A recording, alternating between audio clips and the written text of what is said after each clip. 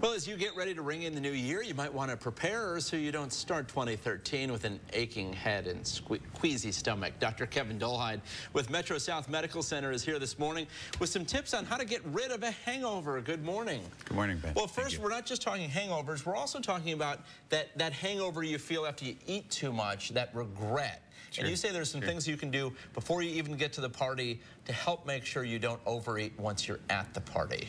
Well, before you get to the party, especially if you want to eat healthy mm -hmm. and not overindulge too much, is to try some vegetables, some fruits, maybe some yogurts, and definitely hydrate before you go to the party. Yeah, and if you're hosting a party, have some options like that because sure. people are going to graze, but if they're given a good option, a healthier option, a lot of times they'll take it. Hopefully, hopefully it will. A lot yeah. of times I didn't, but sparkling water is good. In between drinks, mm -hmm. some water hydrate, something non-alcoholic like sparkling water with cranberries. Mm -hmm. And a real good recommendation is at the party they should have small plates. The bigger the plate, the more the meal. And if you put on your plate first the vegetables, the melon, things like that, then you got less room for the bad stuff. Well said, well said. Alrighty, and then now let's let's talk about something we do every year, and that is, you know, hangovers. First, what causes it, and by we do, I mean we do segments on it, not we do hangovers. Um, what, what causes a hangover? The uh, When you drink the alcohol, it has to go through the liver, uh -huh. and the liver metabolizes it. And the second meta metabolite is the one that kind of causes the brain swelling and cells to swell. Mm -hmm. The alcohol also inhibits uh, a hormone that causes you not to pee. So you tend to urinate more, so you get dehydrated. So if you don't drink the fluid in between the alcohol, then you get dehydrated and get hypovolemic or have a low blood count. All right. And some cultures actually think there are steps you can take before going out that mm -hmm. will help you avoid a hangover altogether. The uh, Japanese believe in the miso, which mm -hmm. is a soup, and ginseng.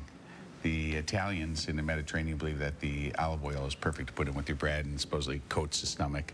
while while you're drinking, you soak it up with some bread and olive oil. Before, or after, you? or during. Interesting. What about peanut butter? I haven't heard this one. This is uh, the Africans believe that peanut butter helps prevent hangovers too. I'm not sure how you know right. how the mechanism of action is, but Supposedly okay. it works. Well, let's say you wake up uh, in 2013 and you feel absolutely miserable. Sure. What, you know, I've heard everything from eat a greasy breakfast to obviously hydrate. Uh, what are your suggestions for uh, how to help it move along and out of your system well, faster? hydrate's number one. Mm -hmm. Hydrate. Sugars are good too because after you've been drinking, the sugar count in your blood system goes down. Uh, they also have some medical remedies like proton pump inhibitors like mm -hmm. Prilosec or Prevacid. Protonix help reduce the acid indigestion in the stomach. Mm -hmm. So uh, part of why you feel so horrible is indigestion?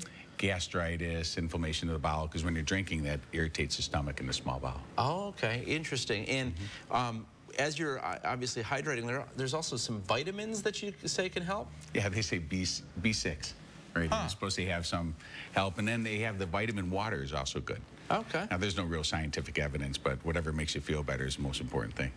Ah, right. greasy eggs and hash browns for me. Exactly. Dr. Kevin Dolehide from Metro ben, South Medical Center. Thanks for joining us. I wish you a happy, healthy new year. We've posted all these tips to get you into the new year the healthiest way possible on our website at abc7chicago.com.